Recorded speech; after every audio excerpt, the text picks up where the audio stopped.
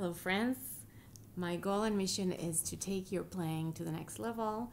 This is a class for intermediate to advanced students, and I hope I will give you some new inspiration and ideas. Let's start working. In this movement, we have big leaps followed by linear, small steps. And I like to apply the Baroque rule, which is the bigger the interval, the more air in between the notes, and vice versa. When the intervals are close, play more legato.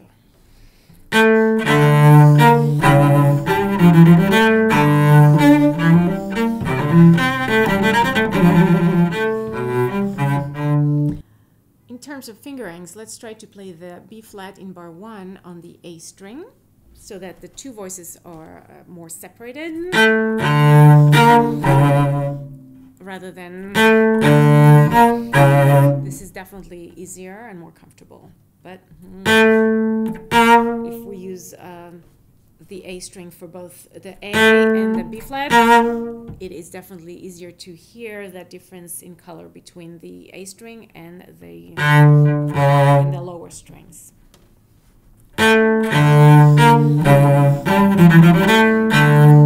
I like taking another down here so that I finish up bow and this will catapult me up to the air and then down to the D in bar four. This leap is also more dramatic if you use the first position for the B flat. So the first part consists of four eight bar phrases. The first eight bars are antecedent consequent, or in simpler words, a question and answer. Um, four bars answered by another four bars. So we have this is the second half.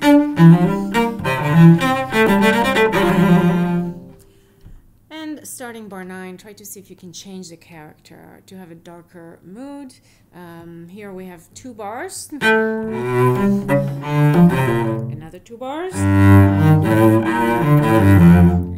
four bar answer or resolution. Um, in other words, be sure that you're not accenting the downbeat of bar 15. Similarly, the next eight bars are built as two bars, another two bars, and which are sequences, and ending with four bars. So starting upbeat to bar 18, the mood is again jolly in my opinion, and try even roughing it up a little bit. So.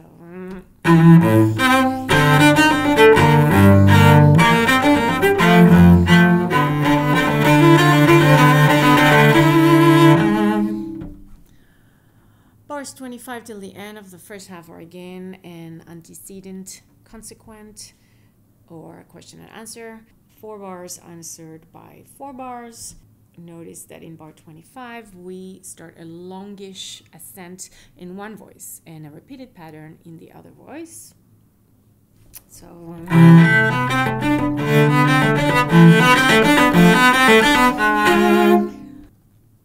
As always, I like separating those voices when I practice. And,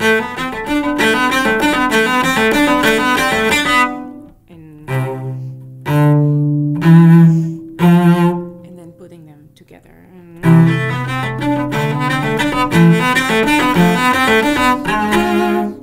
Also to mark the start of this little mini journey in bar 25, I like taking a little time on that C. So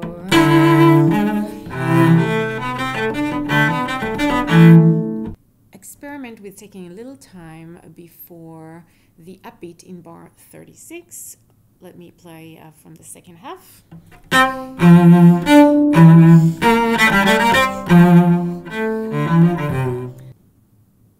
The following four bar subphrase has a different character than the one we just played. Um,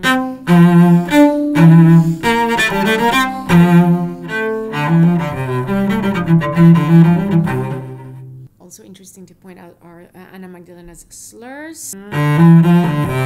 This is not clear, but this is my interpretation of this bar.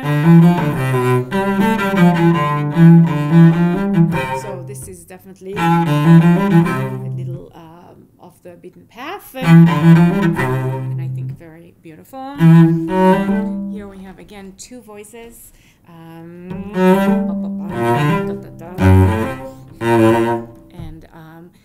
notice that the downbeat acts uh, both as the end of one voice and the beginning of the next voice. A note might end a phrase and also start a new phrase. So I like to think of the lower voice as the one in red. And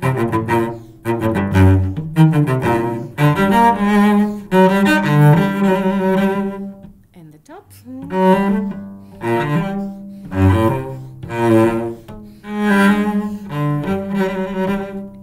Put them together.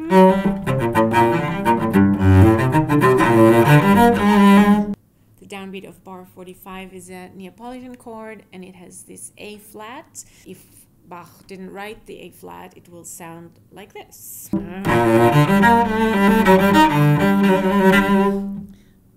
And now if we go back to what's written, sometimes it's good to refresh our uh, ears and we're so used to hearing that A flat, but it is a very poignant and has a special color that wouldn't have been there uh, if it wasn't for that uh, accidental, uh, the note that is out of key. Another idea is to sit a little bit on the F sharp downbeat of bar 43. And, and, and this will create a two and two uh, bar units. So one unit and another unit. One is going down, the other one is uh, going up. Bars 49 to 56, uh, we have a cycle of fifth. Um,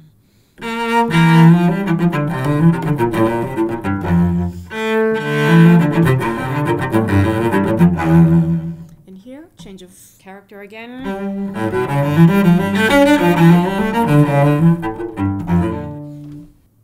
Bars 69 to 71, tension builds through the use of the Neapolitan chords again. And just for comparison's sake, let's hear it without the B flat.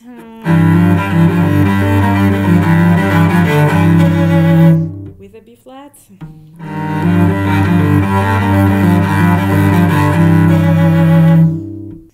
Downbeat of measure 68 could have been the end of the movement, so it could have ended. Uh,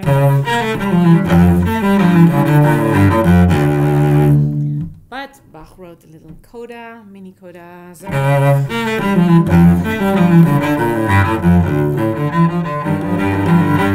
So as long as you're aware and um, of the structure.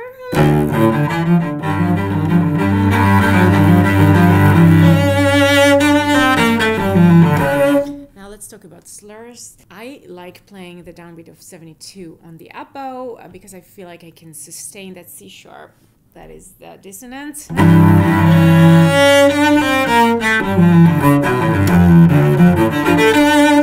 then you can also finish the movement with a bravura up bow slurs. So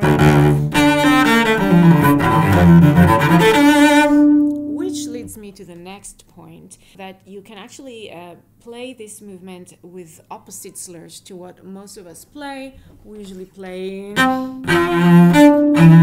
looking at the second half, but you can actually start with a down bow. So and this will make that upbeat jump out much more clearly from the page. So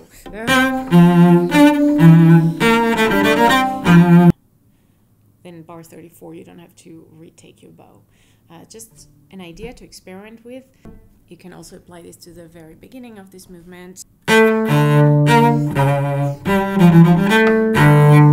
So if we are to start down bow down up down up and then finally uh, in the fourth bar we finally land on the down bow. So this can also be very interesting but uh, I will let you explore. Thank you for watching, and I'll see you next time.